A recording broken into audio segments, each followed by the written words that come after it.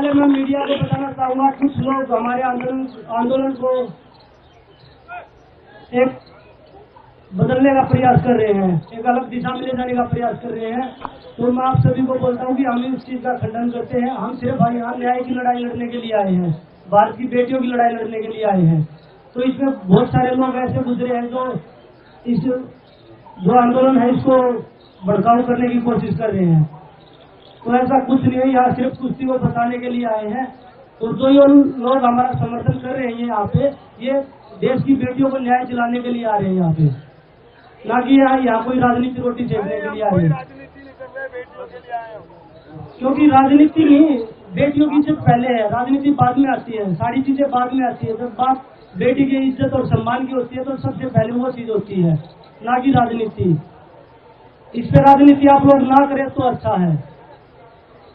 मैं आप सभी को यही बताना चाहूँगा, ये खिलाड़ियों का आंदोलन है भारत की बेटियों को बचाने का, न्याय दिलाने का आंदोलन है। इसको दूसरी दिशा ना दे, इसको किसी राजनीतिक प्रकरण से ना जोड़े।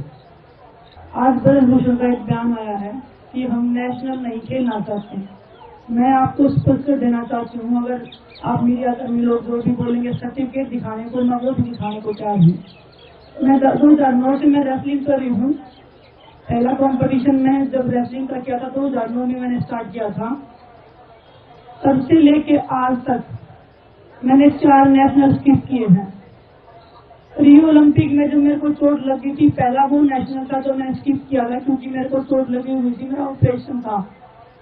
दूसरा नेशनल मैंने स्किप किया था टोक्यो के टाइम पे जब कोविड चल रहा था, वो जब उस साल तो देश की हालत बहुत खराब थी मेरे खुद कोविड हो रखा था तो वो दूसरा नेशनल था जो मैंने स्किप किया था, तीसरा नेशनल टोक्यो ओलंपिक्स के बाद में जो मैं हारी थी, उसके बाद में मैं मेंटल स्टेट बहुत बहुत बुरी थी और मेरे को बहुत ज़्यादा परेशान करके इस स्थिति में लेके जाया जाया गया था कि मैं एक दिन ऐसा हो रहा था कि मैं कभी मर सकती हूँ। खुद के साथ में कुछ भी कर सकती हूँ इस पोजीशन पे मैं बिठा रखी थी।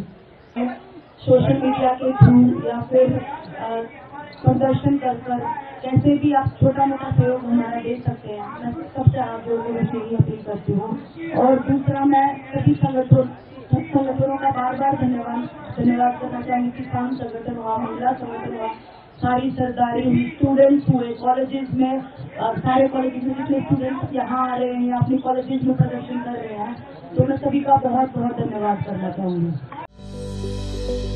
Welcome to K Mall, premium project by Kaleen Group. K Mall is in the heart of Kolkata's electronic, garment and lifestyle hub, Khidirpur. K Mall, which is designed as a world-class mall, is the outcome of endless effort of our experts, combined with modern superb techniques and new age design.